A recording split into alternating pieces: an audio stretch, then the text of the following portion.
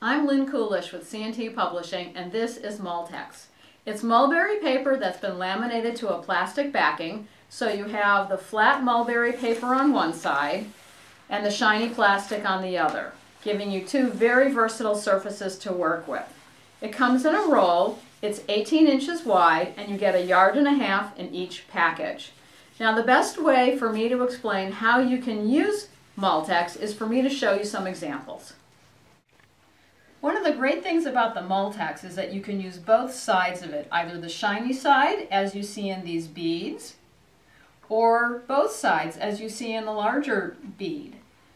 Now, moving on, we also have a Multex butterfly, and this one is using most of the shiny side up, but it's been painted on the Multex paper side, so you get this really lovely translucent effect. And then we have a great neck piece. It could be also worn as a little tiara that's made up of many flowers that have been die cut from the Multex. Next is a lovely little book of painted Multex. The inside you see the painted paper side and on the outside for the covers you see the painted side shining through the plastic side so you get a lovely translucent look.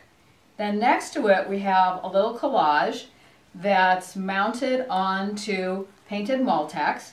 The Multex is easy to sew through and provides a really stable background. And last up we have this great quilt. It has a piece of Multex that covers the entire surface.